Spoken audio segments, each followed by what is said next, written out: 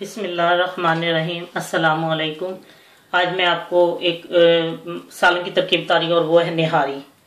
निहारी के लिए मैं मटन इस्तेमाल करती हूँ। कुछ लोग बीफ इस्तेमाल करते हैं लेकिन पहले मैं बीफ से बनाया करती थी लेकिन अब मैंने बहुत साल हो गए मैंने मटन से शुरू किया और इसकी बहुत टेस्टी बनती है आप ट्राई करें। ये मैंने रान का गोश्त लिया है उसके लिए एक किलो।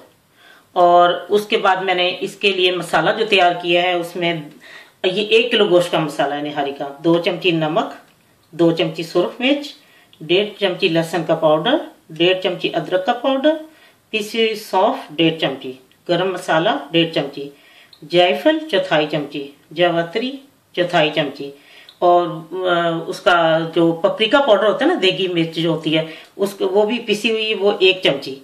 और पिपली जो होती है, उसकी वो पीसी हुई चौथाई चमची। पिपली वालों नहीं पहचानते क्योंकि ये बहुत कम गर्म मसाला ये ये पिपली होती है इसको। लॉन्ग पेपर भी कहते हैं इंग्लिश में, ये पिपली भी है और इसको ये निहारी का ये एक खास जुज है। निहारी में लाजमी ये डलती है।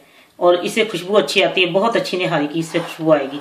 और इसमें दो टेबल स्पून जो है पिसा हुआ अदरक, दो टेबल स्पून जो है वो पिसा हुआ लहसन और दो चमचे आटा ये बाद में घोलने के लिए डालना है, और एक कप तेल। और पिसा हुआ गरम मसाला ये बाद में दम देने के लिए। और ये तीन गिलास पानी। ये मैं अब आपको बताती हूँ कैसे बनाना है।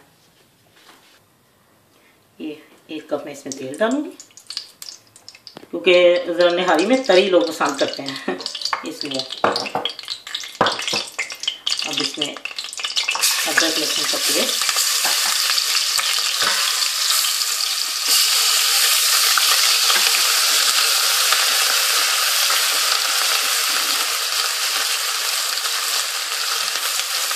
जैसे ही ज़रा भून जाएगा तो मैं इसमें अब गोश्त डाल दूँगी। हल्का इसका कलर चेंज होगा तो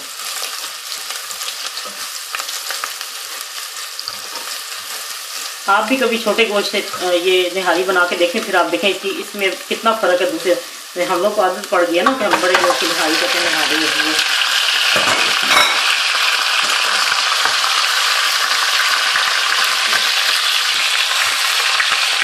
जैसे ही ये गोश्त का कलर चेंज होगा तो इसमें मैं मसाला डाल दूँगी निहारी का ना।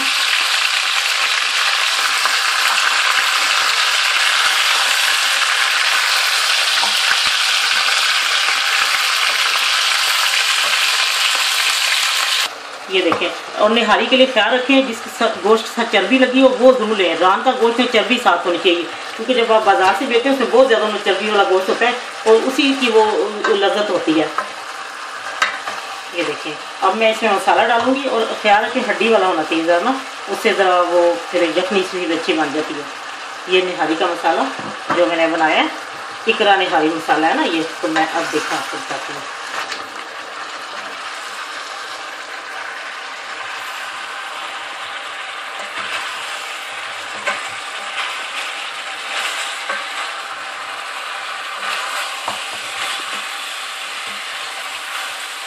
अगर आपको लगे, आपको थोड़ा सा नीचे से लग रहा है तो फिर थोड़ा सा एक पानी का छीटा दे लेकिन मेरा नहीं ख्याल की ज़रूरत पड़ती है, क्योंकि वो गोश्त भी जल्दी से अपना पानी भी थोड़ा छोड़ देता है ना, भूनने के बाद। जैसे ही गोश्त की रंगत बदले, भून जाए तो उसके अंदर ये मसाला डाल के आप भूनें।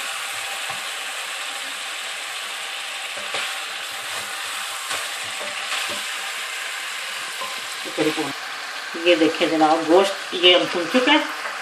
बहुत अच्छी तरह और पानी का छींटा एक मैंने हल्का सा दिया था। ये देखें, बिल्कुल अब भुन गया और अब मैं इसमें तीन गिलास पानी पास डाल के इसको पकने के लिए रख लूँगी। तो आधे घंटे तक, आधे घंटे पर इसको चेक करूँगी। फिर गोश्त गल चुका होगा और उसके बाद फिर मैं आपको बताऊँगी आटा किस स्टेज पे डालना है और क्या करना है। ये देखें। इसमें तेल ज़रा ज़्यादा ही होना चाहिए क्योंकि खाने वाले कहते हैं हमें तरी चाहिए ज़रा। फिर वो उनके लिए अच्छा है कि वो ज़रा थोड़ा सा तेल एक काफ़ी डालें।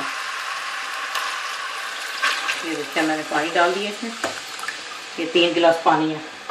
अब ये आधे घंटे इस तरह पकेगा, दरमियानी आँच पे। तो जब गोश्त गल जाता है, आटा डालने से पहले मैं आपको दिखाऊँगी, इंशाल्लाह, कि ये इसकी क्या पोजीशन है और फिर मैंने किस वक्त आटा डालना है।